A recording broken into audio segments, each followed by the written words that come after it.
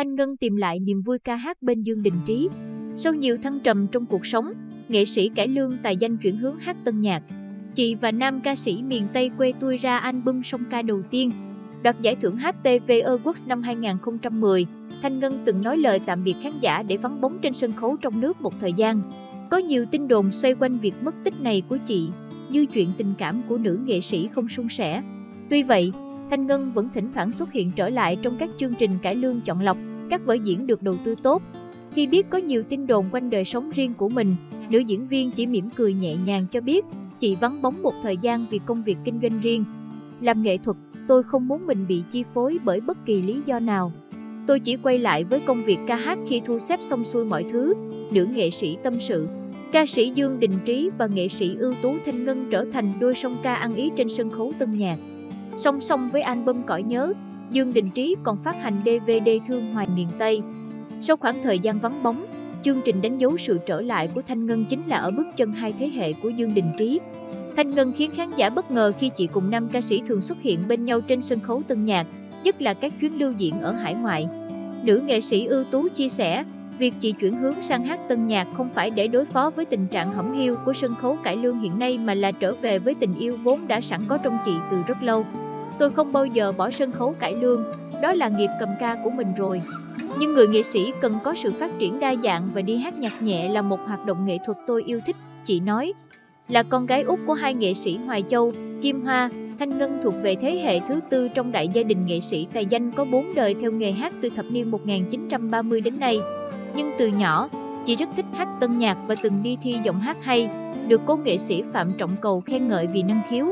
Tuy vậy, theo ý nguyện của cha mẹ, chị đi theo đoàn hát của gia đình và mâu chống thành danh như một nghệ sĩ cải lương tài sắc vẹn toàn. Theo Thanh Ngân, dù chị mâu chống nổi danh ở lĩnh vực hát tuồng cổ, hơn 20 năm gắn bó với cải lương mang lại cho chị không ít nước mắt và nỗi buồn. Tôi thường bị các bạn diễn nam hiểu lầm và giận mình khá nhiều. Họ tưởng tôi kiêu ngạo, chỉ muốn dạy đời họ trong công việc. Những hiểu lầm dai dẳng này khiến tôi rất buồn, nhiều khi mất tinh thần. Thực ra, khi đi hát, đi diễn chung với nhau, vì quá nôn nóng muốn cả hai phải hợp ý, cùng nhau phát triển chuyên môn nên tôi đã có những lời nói nóng vội, làm phật lòng người khác. Hiện, tôi tìm được sự yên bình trong cuộc sống nhưng điều tôi tiếc nhất khi nhìn lại quá khứ là cách hành xử của mình. Nếu mình khéo léo hơn thì sẽ không có những hiểu lầm như vậy. Thời gian hát tân nhạc với Dương Đình Trí chưa bao lâu nhưng tôi lại cảm thấy nhẹ nhàng, thoải mái hơn rất nhiều. Đứng chung sân khấu với Trí, tôi cảm thấy yên tâm và hợp ý rất nhiều, chị nói. Thanh Ngân và Dương Đình Trí vừa phát hành album mang tên Cõi Nhớ. Sản phẩm âm nhạc này tập hợp 14 ca khúc trữ tình của các tác giả như Lam Phương, Sông Trà, Quốc Dũng, Thanh Sơn, Vinh Sử, Ngân Giang. Trong đó, có đến 7 bài là song ca. Nghệ sĩ ưu tú Thanh Ngân có rất nhiều khán giả hâm mộ trong lĩnh vực cải lương.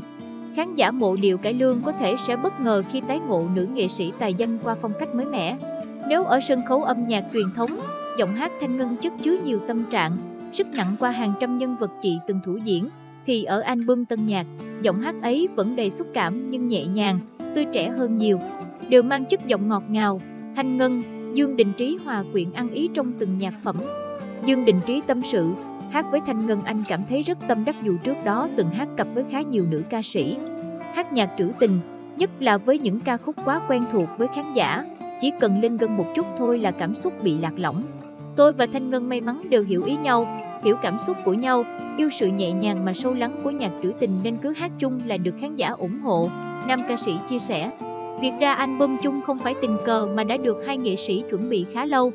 Từ khi tôi đứng chung sân khấu với Dương Đình Trí ở chương trình Bước chân hai thế hệ, khán giả trong và ngoài nước đều hối thúc cả hai phải ra đĩa nhạc chung. Đáp lại tình cảm của mọi người nên sau khi chuẩn bị khoảng một năm, đĩa cõi nhớ mới có thể ra mắt được, Thanh Ngân cho biết nghệ sĩ nhân dân Lệ Thủy góp mặt trong đêm tâm từ bi do con trai tổ chức.